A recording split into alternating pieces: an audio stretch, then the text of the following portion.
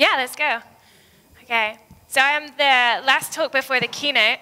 Um, so I am uh, very grateful that you've stuck around for the two days.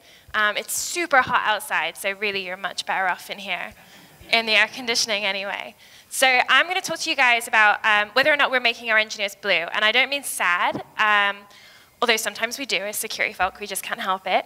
Um, I'm going to talk about blue teaming. Um, so defensive guess, defensive tools and tactics and techniques for our software engineers, our developer teams, um, and our product teams. Um, I'm also going to talk about threat modeling. I just can't help it. I really love threat modeling, uh, and that ends up being something that I just have to bring into everything I do.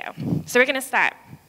So this all started because um, a leader of mine heard me talking about threat modeling in a previous company, and uh, he, yeah, he, um, he was like, this sounds really cool. I really like what you're doing. Um, but how about you create this minority report style screen and you can just pull in the threads? And uh, it reminded me of this Dilbert comic that I absolutely love, but it got something thinking. And what I want to do today is bring you on the journey of some of these tools that I've come across that I've really enjoyed using for software engineers. And then I'm also going to introduce you a little bit to my journey about making a minority report style threat modeling screen, because it's, uh, it's a fun story.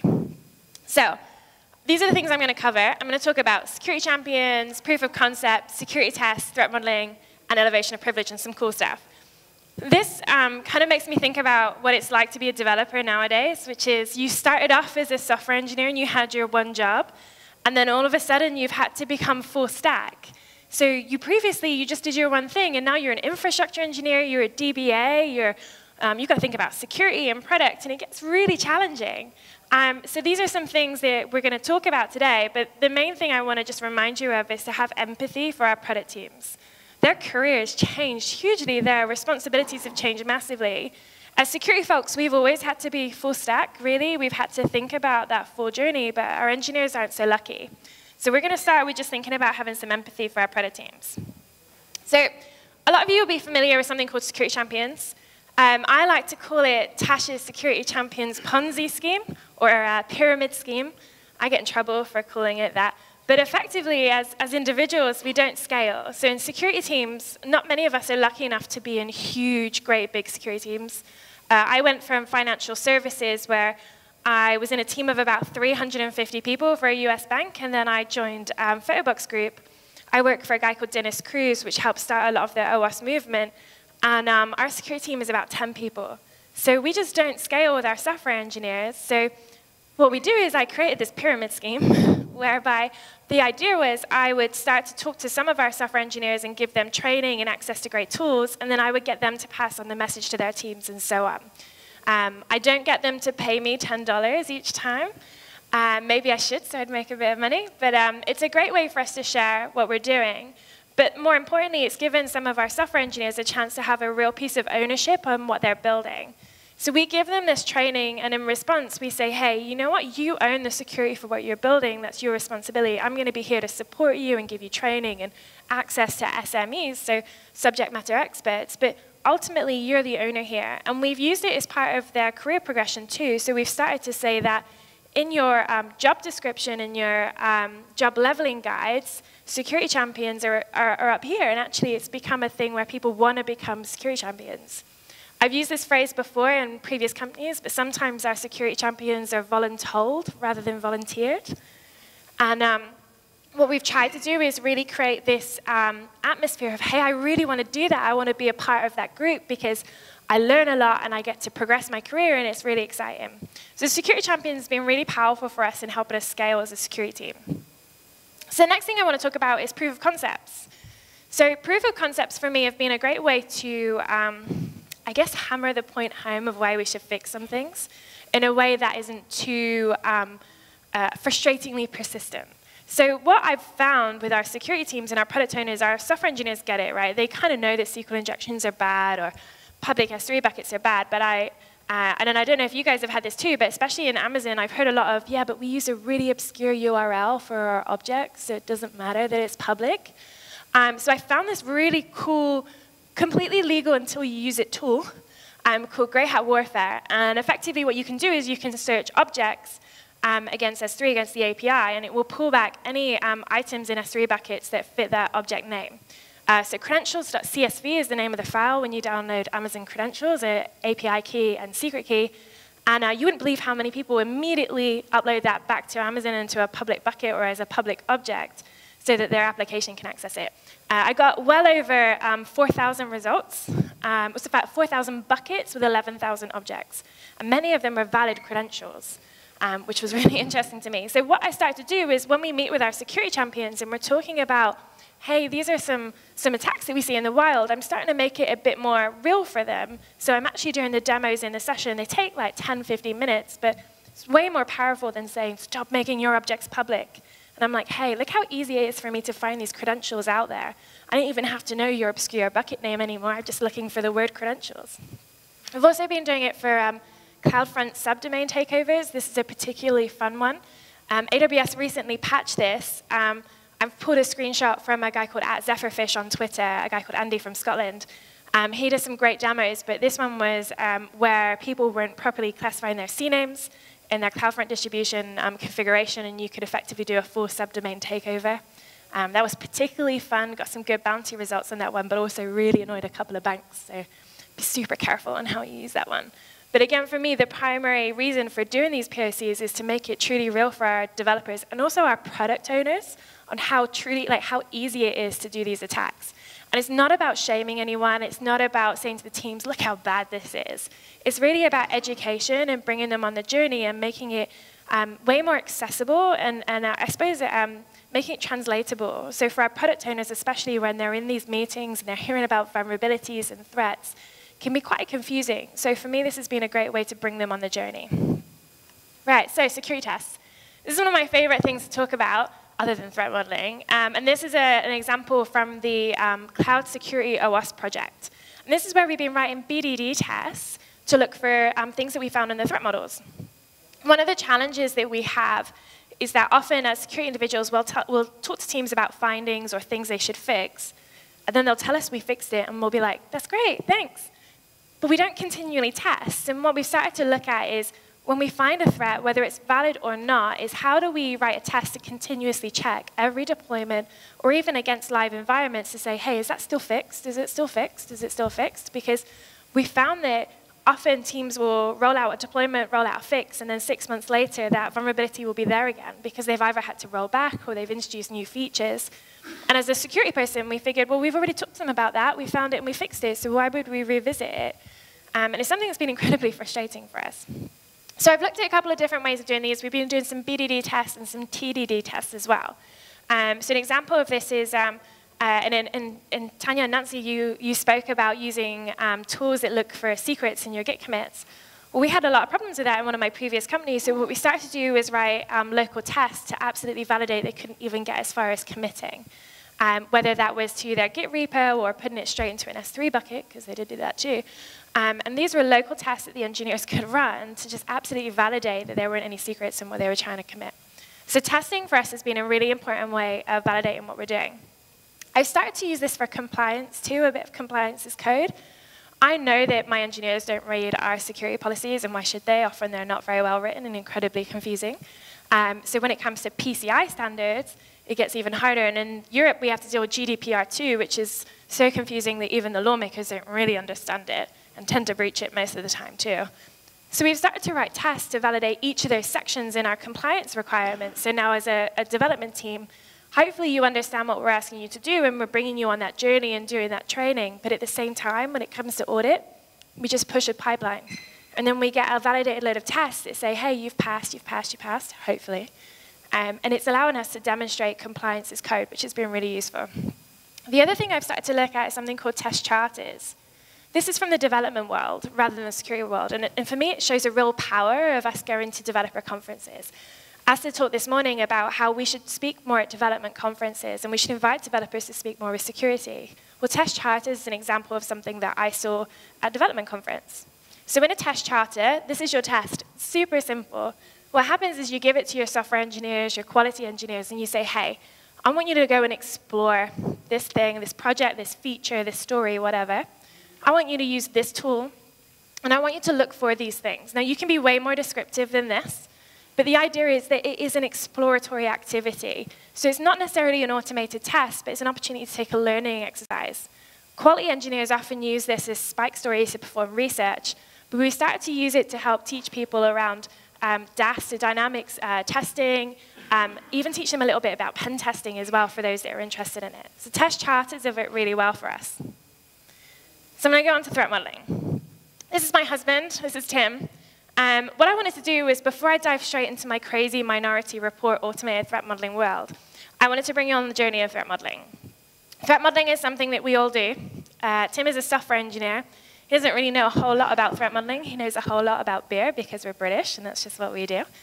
Um, but Tim wanted to propose to me when we were going on a holiday to South Africa, and uh, he had the ring on him as we were going through uh, Heathrow Airport security. And as he got to Heathrow Airport security, he realized he was going to have to get the ring out of his pocket. Why he decided to travel with the ring in his pocket when he didn't want to propose for a few days is beyond me, but he was very excited. And he realized he was with me, oh God, I'm going to have to propose to her right now. What do I do? And he started to think about, like, this is what I want to do, and these are all the things that are going to go wrong. And he got, like, a little bit stressed. He was sweating. I'm like, Tim, chill out. We're in Africa. We're about to head on holiday. This is so exciting. And he's like, oh my God. And I'm like, what's happening? And then he looks at me and he says, I'll race you. I'm really competitive, I can't help it. Um, so I look at him and I'm like, you're on. And I kind of walk, but without running, because I don't want to get caught by anyone in security, and I'm trying to be as inconspicuous as possible whilst trying to get away from him as much as possible, so that I can try and get through airport security faster than he did. And I'm like walking along, and I'm like, right, my goal is to get through airport security. Like, what can go wrong? Okay, well, I don't want anyone in front of me that's got young children, or I don't want anyone in front of me that's got prams, or has got a belt and big boots. I'm like, how do I get across? Well, how can I mitigate these things? So I get across first, obviously, uh, and he kind of gets through a little later, and all of a sudden he's way more relaxed.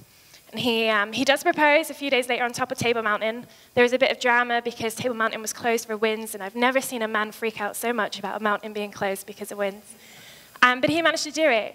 And uh, the reason I love the story, apart from you know, seeing a guy really freak out, um, is that he, he threat modeled that scenario. He thought about what can go wrong, what can I do about it? And at the end, he was like, oh, I did a good job. I got through, and she didn't know I was going to propose. And for me, when I walked around, I'm like also thinking, okay, what do I need to do? I need to get through airport security faster than him. Well, what can go wrong? Well, someone could stop me. And it made me realize that we threat model in our daily interactions all the time. We just don't realize we do it. And what I want to do today is tell you, hey, there are a whole load of frameworks that we can use to do it. And when you think about it in this way, it demystifies it a lot of the time. So threat modeling no longer has to be an activity that's led by a security person. It can be a software engineer. It can be a product owner. It can be a project manager or a scrum master. It doesn't have to be us. So I just wanted to make it feel a bit more human. But before I go on, I just want to cover off that there are a whole load of frameworks and methodologies. I'm not going to go into all of these, and you would have heard about some today. Um, in their previous talk in, um, in Hall B, just before this, Autodesk just announced another threat modeling methodology that they're releasing under Creative Commons. So if you missed that talk, I would highly recommend having a look at the recording for it. Um, so there's a whole load of methodologies out there, but most of them follow this simple process, which is, what am I doing? What can go wrong? Uh, what can I do about it? And did I do a good job? And I really just want to focus on those bits. Those are the bits that are natural for us. So I'm going to bring you on a journey. Threat modeling can be very confusing. You get all these crazy diagrams, and on top of that, you have tables and spreadsheets. And personally, for me, spreadsheets is where data goes to die. I know very few people that put a lot of data in spreadsheets and genuinely call it back naturally all of the time. So to put our threat models in spreadsheets just feels really, like it makes me itchy. Um, and so this, for me, is what puts people off threat modeling, right? You have to sit down, you do this laborious exercise, no one knows if they get their diagrams right because they're never the same. They're very confusing. And realistically, who does data flow diagrams naturally unless you're a data architect or you're working on the OAuth project? There's no other data flow diagrams. So for me, it's hard. I came from an architecture background. I love a good diagram. But when you have people that get itchy on whether you've got a square or a diamond in your diagram, you know that you're focusing on the wrong thing. So I started to think about have this conversation I had with a manager about six years ago, and he talked about this kind of, hey, you could pull in an asset and you could automatically generate some threats. I kind of thought about it a bit more and was like, maybe he's not talking about purple blockchain with more RAM. Maybe this is actually a thing that could happen. And I started to think, well, rather than having a minority report, what if we could create the threat modeling majority report? And I got really excited. So I thought, okay, there's this idea that as an engineer, when I first think about a thing that I want to build, I'm going to start declaring assets.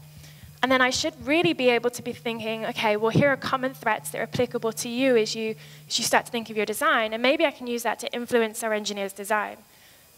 The other idea, and it's a, a slightly lazy one, was again, I don't scale, so I can't come to every product conversation. I can't come to every research piece. So if I could create a tool that gives them, hey, here's some initial things to think about if you want to build a serverless uh, application or if you want to work with Postgres uh, databases, it makes my life a whole lot easier. So I started to think about building this. So attempt number one was a how to hack three US banks database that I accidentally built, which is effectively a um, terribly put together Postgres database a whole list of threats that weren't properly sanitized, and then a whole load of fixes. It was good in practice, but my development skills, I built effectively a Flask web app on top of it, weren't great. They were really bad. Um, but what happened was we started to get closer to this idea that as an engineer, I could put in, hey, I want to work with Postgres, and it would come back with a load of threats. I didn't properly sanitize it, so what I actually did was say, hey, here are all the ways to hack everything else that your company's building at the moment that uses Postgres databases. But it got us one step closer. The other problem was every time teams were doing a threat model, I was putting that data in there, and that was great, but it was still really laborious to keep putting that data in and think about sanitization. So I took a step back. Um, I joined Photobox Group um, last year, at the end of last year, um, and I work for a guy called Dinis Cruz, I mentioned earlier, who um, founded the OWASP London chapter and a whole load of OWASP projects. Um, Dinis um, loves pictures and graphs, and for any of you that have seen him speak, he speaks about 10 times faster than I do, which is really saying something. But he's incredibly passionate and he works incredibly hard. And when I joined Photobox, they use Jira.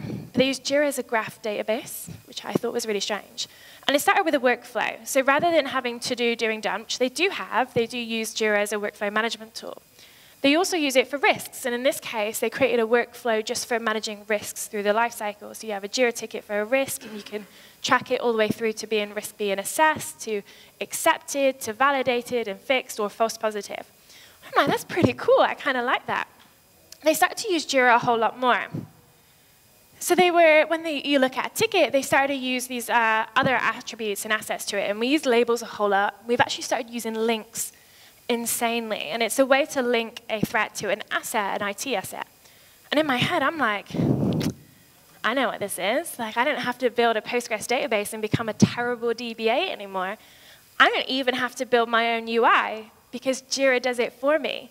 So I'm like, maybe I can use this to start to create my crazy majority report style threat model. So I have a think about it, and I work with Dinis, and we come up with a Slack bot. And this has um, recently been open sourced, and I'll share some info on this at the end. But what we did is we took all that JIRA data on um, every threat. So every time we did a threat model, every time we did pen testing or any type of SAST testing, we took each finding that was validated and we created a JIRA ticket for it. And what's great now is a lot of these companies actually have JIRA APIs, so we started to automate a lot of that for ourselves too. Pump all that data into an Elk stack, and now we query it with a Python-based um, uh, Slack JS bot or Slack bot that can give us information on the threats we find. So I'm like, great, I'm going to make myself some automated, cool threat modeling diagrams. So I try it. This is one, this isn't great. Um, there's a, a, theory called Miller's theorem, which some of you may have heard of, which says a diagram should really only have five plus or two minus boxes. Um, I'm going to tell you a little bit later how often I break that theory. Um, but it was interesting. So I have an IT asset here, I have a whole load of threat model findings. And then I've started to link back to the fixes, and then in some cases, the story on Teams backlogs. Now, it's not really incredibly useful in this, in this method, but what I started to see was at a super high level, the number of threats I was finding and the number of them that actually had fixes. And at a really high level, and we'll cover this later, the number of fixes that could actually solve more than one threat, which was really interesting. So I took it a bit further and I thought, okay, if I take a step back from this, for this to really work, for me to create a predictive threat modeling world, I need a taxonomy. So if there's anyone here from Synopsys in the room, you might recognize this. This is yours. Great job. Um, and this is a great taxonomy, and I started to use this to think about how do I bring in threats, but then how do I also consider things like bugs and flaws and services. So I simplified it a little bit. Um, this is on my uh, Twitter as well. I'm very lucky to work for someone who loves to open source and Creative Commons pretty much everything we do. Um, and I took it back and I, I, simplified it because we're on a journey, we're on an agile journey, and we're iterating and we're moving and we're trying stuff all the time. And I thought, okay, well, I don't just want to bring out and talk about threats and vulnerabilities, and I'm using that word interchangeably, so you have to forgive me as part of this talk. Um, but I wanted to talk about fixes. How do I reuse fixes in what I'm doing as well, so that if I tell a team, hey, you've got this threat and you need to fix it, I can also link to Git links, so I can provide Git links for internal repos where we fixed it, um, so that we can hopefully speed that up for our teams too. So I tried it, and I thought, okay, I'm actually going to properly build my new majority report tool. I thought, this is what happened. Um, so I was like, I'm going to do it. I'm going to create a diagram. And I ran my first command, and this is what I got back. And um, this uh, gave Dinis a bit of a headache, so our poor CISO. Um, and I think our risk manager kind of threw up a little bit. And I was like, it's fine, I'll try it again. And then I tried it one more time, because I thought, you know what, I'll just use a different JavaScript library for my diagram, and that'll fix it. Um, and it made me realize that I was pulling in too much data. So what happened was I tried to be really sneaky, and I was like, you know what? I'm going to bring in CWEs, I'm going to bring in or CVEs, I'm going to bring in um, SAST and DAST um, threats. And I brought in a whole lot of stuff, and what I effectively created was like a, a false positive threat vomit map of like anything that could possibly be wrong. So I took a step back and thought, okay, what I really need to do here is think about what's relevant. And the beauty of having worked in a couple of companies and done threat modeling, gosh, for the last maybe five or six years, is that I've started to work out what's likely. Um, I've looked at threat actors and I've looked at my landscape and I've started to think, okay, what do I need to consider in this story? So I took it a step back and I created a much better looking map where, and this is, a, this is very overly simplified and isn't all of the threats. Um, but I started to think about, okay, with a Postgres database, how do, why don't I just pull in the things that I know are, are fit my threat vector for the application or the service and the industry that I'm working in. So I'm still working at how I do this. And some of it comes down to ultimately how bad the CVE is, because sometimes, um, even though the CVE might not be super likely, if it's like a 9.8, like I still need to consider that patch, uh, like the RDP one recently, or the um, Kubernetes one a little while ago. Um, but I also wanted to make sure that I'm saying to our engineers, hey, if I'm going to tell you this threat, it can't be this super obscure, ridiculous, out of nowhere threat. It needs to be something that you should fix. And I started to also capture this fix data where I could say, hey, if you prioritize all these fixes that we tell you, and as security people, we can be really guilty of just throwing a load of fixes at our engineers. And it all joins their backlog together, right? And then they prioritize based on effort. They don't prioritize on how much it fixes or what it fixes unless we give them that information. So I thought about a pivot point with this, and I thought, okay, I have all of these vulnerabilities for my project, and I've got all these fixes, but actually, what I can start to do with this data is I can say, hey, if I've got certain fixes, I can say to our engineering teams, you know what, I know I've given you like 100 things to do, but I'm going to show you some data, and I'm going to quantify why you should go over certain fixes first. And then we're going to look at the likelihood and the impact of the threats that we're finding so we can properly prioritize. The idea being, none of us are 100% secure. I know, I'm sorry. I'm going to call you out on it. Um, but actually, we know that our engineers also can't fix everything. So how do we properly prioritize and get the most for their time? Um, and really prove and demonstrate the impact that they're having each time they fix. It's also great for your engineers from a, a performance and a personal development perspective because they really can see the impact they're having each time they invest in that time. I also did it with heat maps. So what I did um, and the code for this has also been open source recently. So we said, okay, well, if we're creating these huge threats, that's not really, those are kind of mind threat vomit maps aren't really readable. So we started to put them in categories and create heat maps. And what we could do is we could say, hey, if you do these stories and you fix these things, you'll go from A to B. Uh, more recently, I used it to say, hey, for my new department, if you give me like an extra 200,000 pounds, we'll go from here to here for my budget, or half a million, we'll go from here to here. But actually, it was a really good way to quantify because this can look a little bit demystified, but when I took it a step back and showed them the other really scary maps underneath it, I could actually drive it all the way down to an individual threat and vulnerability and show the progress they were making over time. So the other thing I started to look at was attack trees. And I'm going to cover this super quickly because we're low on time. But attack trees I found really confusing. And I really struggled to get my head around them. And there's been some great talks this week on how to actually use them. But what we started to do was when we thought about our threat model and all that data is we started to work in reverse for the attack tree. So rather than work from the beginning of how I want to open the safe, we started from we've had an incident, someone's opened the safe, whilst we wait for our SIEM teams to come up with uh, what's happened and to give us the right direction to go after, and they run through their playbooks. we've started to work in reverse. Okay, what are all the ways that could have caused that incident that I know of? And then we've used that to add to our threat models. In smaller companies and startups, we've also been looking at using this to actually build the playbooks themselves, especially where the playbooks didn't exist in the first place. It's made it um, a really interesting exercise, and there's a couple of times where I've done this and I've, be I've beaten the SIEM team in uh, finding the compromise point, which has been really interesting. So it's still, a, it's still a journey for the attack vectors, and I've modified the four questions when I do a reverse attack tree, and I uh, apologize to Adam Shostak if he ever watches this for doing that. Um, but it's been a really interesting journey for us to kind of use that to, to change the way we use them. So finally, elevation of privilege. Um, this is the last tool I'm going to tell you about. So this has been around for a really long time, was released by Microsoft, was to help with your threat models. Um, what I want to do today is I want to tell you about an open source project that I've been working on um, that I'm going to be releasing in the next couple of weeks, and these are called Cloudy Cards. So I've been doing these for AWS and Azure, and they are based on elevation of privilege, which is a super tool and very helpful, but is somewhat, in the nicest possible way, a little bit dated. Um, so I've been using sources from various threat models that I've seen publicly, as well as many of the public disclosures um, on breaches that we've seen, as well as some data kindly gifted from BugCrowd and HackerOne to create some cloudy cards. I'm going to be looking for contributors to these for this project, so if you're interested in building out our cloudy cards, you're more than welcome.